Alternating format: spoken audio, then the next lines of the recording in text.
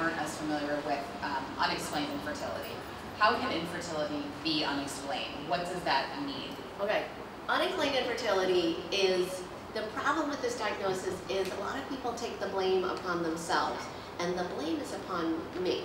The blame is upon the healthcare provider and science and medicine. So far, we have failed to explain unexplained infertility.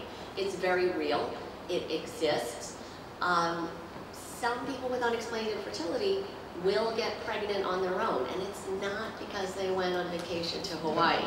Although I totally promote going on vacation to Hawaii because it is currently Zika free. Okay.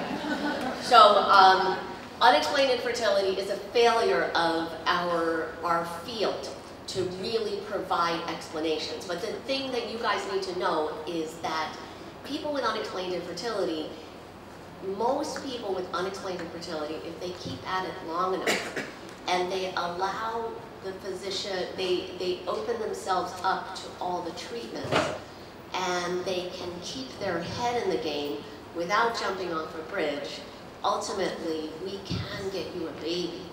So unexplained infertility does have an outstanding prognosis. And I tell my patients, I'm really sorry. I don't think I'm going to get you the explanation. But I do think I'm going to get you the baby. Can we work this out?